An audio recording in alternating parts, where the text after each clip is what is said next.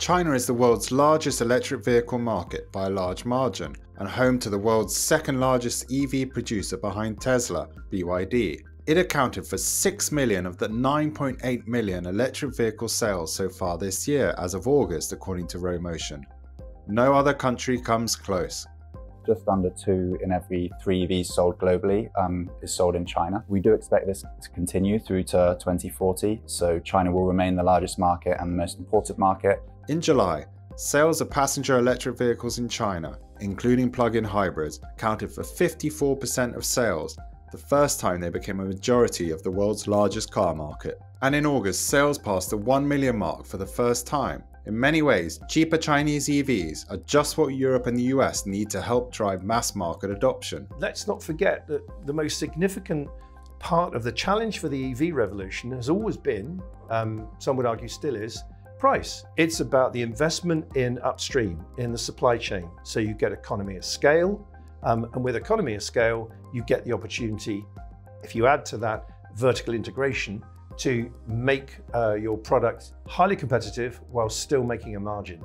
But politicians fear that an influx of Chinese EVs could decimate their home producers. This year, the administration of President Joe Biden launched 100% tariffs on Chinese EVs, and the European Union has voted to impose tariffs as high as 45% on EVs imported from China after a months long investigation into how China subsidizes the industry.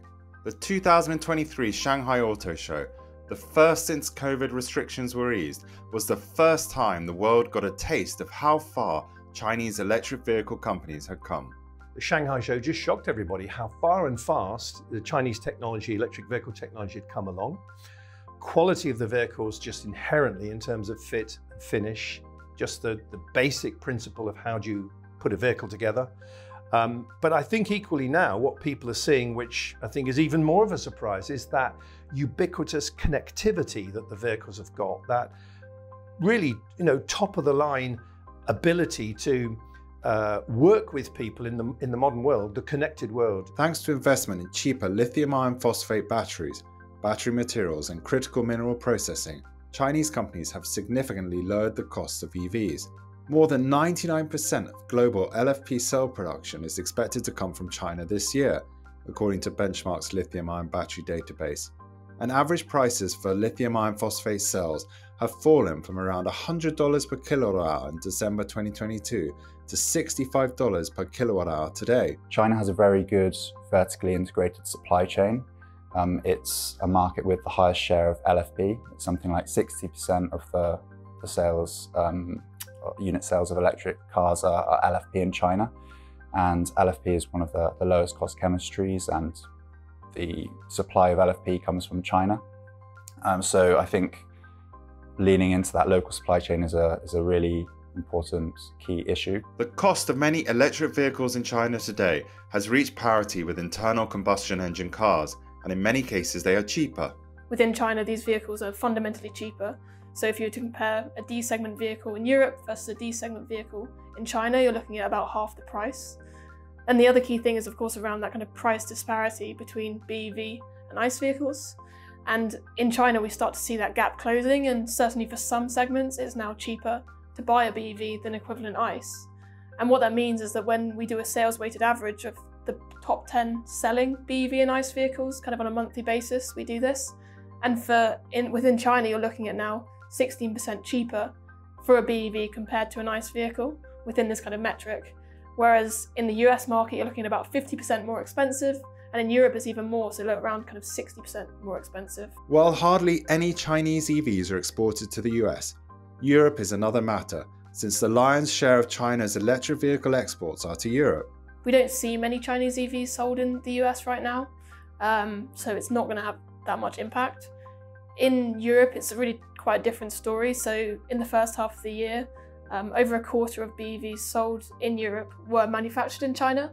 So it's already a, a large part of, of that European electric vehicle market. The key thing though, when it comes to these level of tariffs is, you know, we go back to that point I made earlier around um, the price of an EV in China compared to the price uh, in the European market. You're looking at kind of half some vehicle segments.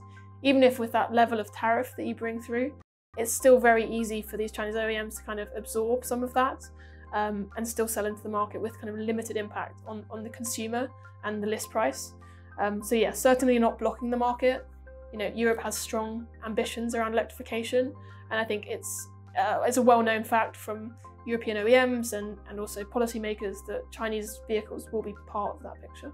In the UK, where there are no tariffs, Chinese electric vehicles are quite common, from MG cars to Polestar vehicles. MG became part of state-owned carmaker SAIC in 2007, while China's Geely, led by Li Shufu, also acquired sports car maker Lotus in 2017. Since taking over Lotus in 2017, China's Geely has said that all models will now be electric by 2028. While the existing petrol Lotus is made in the UK, this electric vehicle I'm sitting in is made in Wuhan, China. Chinese EVs are likely to still be successful in wider Europe despite the EU tariffs due to their cost competitiveness. The reality is that it is too late for Europe to completely ban Chinese electric vehicles. Because they've got such a cost advantage, even with the tariff on it, they can probably bite the bullet and bring the product in and just make, you know, considerably less margin than they're making in China. In addition, Chinese companies such as Geely already own European brands such as Polestar and Volvo,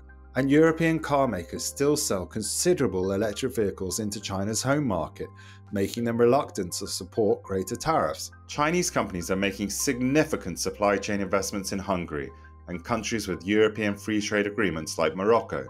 And Chinese OEMs are investing in overseas production sites, with BYD saying in July it would build a 1 billion plant in Turkey. Most people may not care too much about where their electric vehicle comes from and whether it's Chinese or not.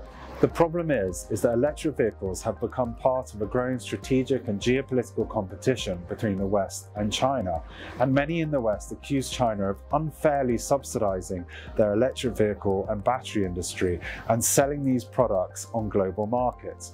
The question now is, how do Western governments protect their own industries while not delaying the transition towards clean energy?